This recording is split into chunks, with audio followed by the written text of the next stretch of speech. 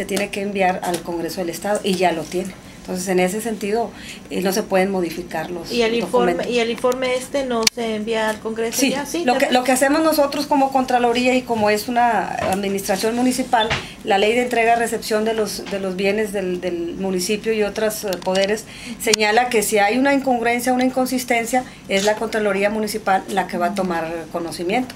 Entonces, habida cuenta que ayer nos, nos rindieron el último oficio de parte del área de recursos financieros, es que lo estamos analizando ahorita con la Dirección de Normatividad y Responsabilidad. ¿Qué ¿No, diría ¿Nos usted? puedes comentar un poco? Digo, para tener una idea más o menos. No quisiera adelantarme, quisiera tener la certeza de decirle, bueno, sobre todo porque el área de recursos financieros, pues bueno, es un, es un área que los números tienen que coincidir.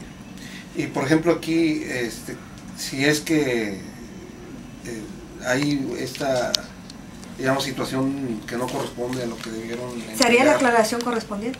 Pero si ya terminó el periodo, ¿no? Para llamar a los funcionarios. Sí, no, lo que pasa es que es en la relación a un documento, a un, a un documento que, que la ley eh, viene dentro de los- del cuadernillo de entrega-recepción como anexo, entonces no, no tenemos la certeza si es realmente el que se señala. Por eso lo estamos viendo con el secretario de Finanzas, si es ese o no. Como es una copia la que nos, nos anexa, entonces estamos viendo nada más esa, esa situación, pero fuera de ahí ya no se puede hacer ninguna este, aclaración. Ya en un momento dado, cuando se aperture el expediente administrativo, entonces sí, este, a quien le resulte cita, deberá de comparecer directamente aquí a la, a la Contraloría. Porque dentro de los 60 días la ley señala que el funcionario debe, puede hacer aclaraciones, como en el caso de los anteriores funcionarios que les mencioné.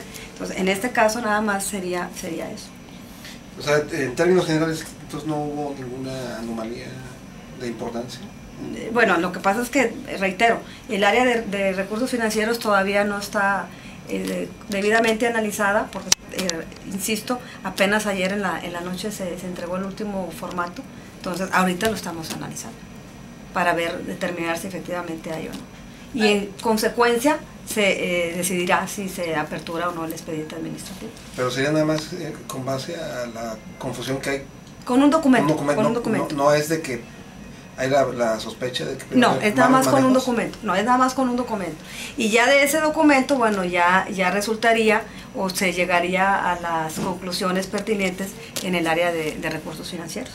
Que la Contraloría está facultada y obligada a instaurar el procedimiento administrativo correspondiente. ¿Y qué tipo de documento es el que se hace falta o que hay duda? Este, lo dejaría pendiente porque por ahí hay una, hay una este, confusión entre el documento que debe de acompañarse y el que nos están dando. Entonces nada más estamos eh, viendo lo que es tesorería, si es ese o no el que deben de acompañar.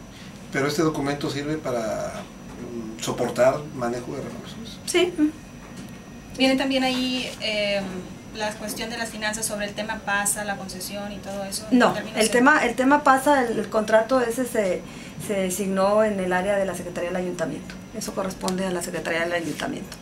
Este, la entrega-recepción se refiere nada más a, la, a, las, a los bienes eh, que, que conforman la, la administración, pero especialmente a lo que es el recurso humano, el, el material y el financiero.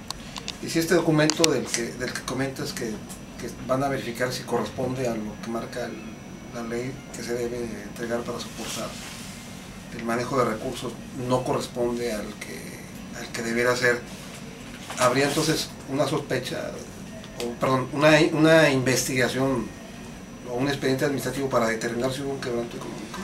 No, no, no, ahí no, no es que exista la sospecha, sino que eh, tendríamos entonces que aperturar, habida cuenta que ya transcurrieron los 60 días que marca la ley para las aclaraciones, aperturar un expediente administrativo. Pero es nada más una, una cuestión que traemos el, el- el secretario de Finanzas y la Contraloría Municipal.